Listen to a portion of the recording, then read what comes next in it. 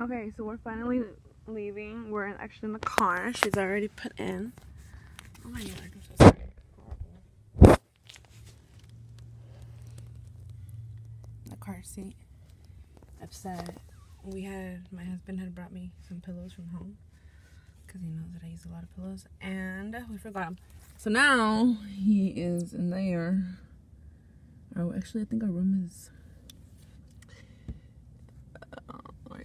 Uh, oh, over there. So now we gotta wait for him to come back. But finally, leaving the hospital. Peace out, hospital. We'll totally miss you. Not. Actually, I didn't want to leave it, honestly. They have good food here. Say bye, Mama.